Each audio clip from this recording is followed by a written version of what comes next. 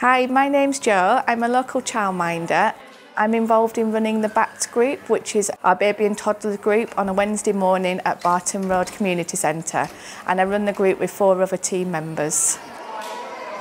We're involved in setting up the group. Um, we obviously set out different areas of toys and activities. Um, we have a baby area, we have a craft area, physical play, small world play, and we have a book corner as well.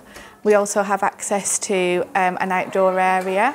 Um, we're involved in organising the weekly craft.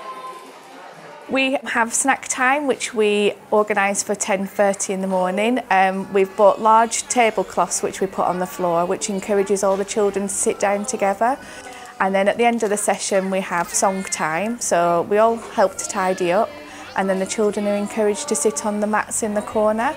Um, and we have song time for 10 minutes, which the children love. Clap your hands together. Put your hands upon your